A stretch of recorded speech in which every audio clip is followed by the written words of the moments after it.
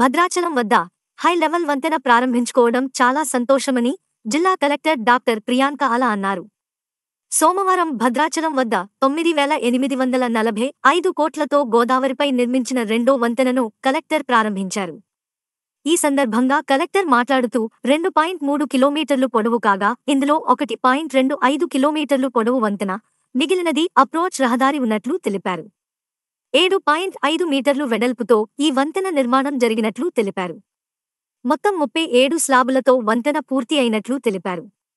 శ్రీరామనవమికి భద్రాచలం విచ్చేయు భక్తులకు అదనపు వంతెన అందుబాటులోకి రావడం చాలా సంతోషంగా ఉందని వంతెన పూర్తితో రవాణా సమస్యకు శాశ్వత పరిష్కారం లభించినట్లు తెలిపారు. విజయవాడ నుండి జగదల్పూర్ వరకు ఉన్న రహదారిలో నూట అరవై ఆరవ కిలోమీటర్లు వద్ద ఈ వంతెన నిర్మాణం జరిగినట్లు తెలిపారు. రెండు వేల పద్నాలుగు సంవత్సరంలో ఈ వంతెన పనులు ప్రారంభమయ్యాయని నేడు విజయవంతంగా పనులు ప్రారంభించుకున్నామని అన్నారు. ఈ నెల పదిహేడు పద్దెనిమిది తేదీల్లో శ్రీరామనవని మహా పట్టాభిషేకం మహోత్సవాలకు భద్రాచలం విచ్చేయు భక్తులకు ఒకటే వంతెన ఉండటం వల్ల ప్రయాణికులు భక్తులకు ట్రాఫిక్ ఇబ్బందుల నుండి విముక్తి లభించిందన్నారు. పెండింగ్ ఉన్న పనులను కూడా సత్వరమే చేపట్టి పూర్తి చేయాలని సంబంధిత శాఖ అధికారులను ఆదేశించారు.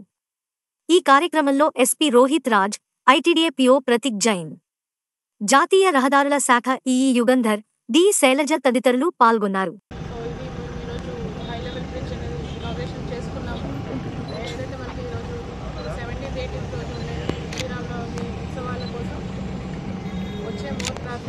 కోసం కోసం చాలా ఫాస్ట్గా త్రీ మంత్స్ కంప్లీట్ చేసుకొని సరిగ్గా శ్రీరామనవమి కోసం ఇది ఈరోజు ఇనాగ్రేట్ చేసుకొని వచ్చే ఓటీసీ కానీ వచ్చే మిగతా జిల్లాల నుంచి మిగతా ప్రదేశాల నుంచి వచ్చే ప్రజలకి ఏమీ అవసరం కలగకుండా ఈ బ్రిడ్జ్ని ఈరోజు జనాల కోసం ఇనాగ్రేట్ చేయడం థ్యాంక్ యూ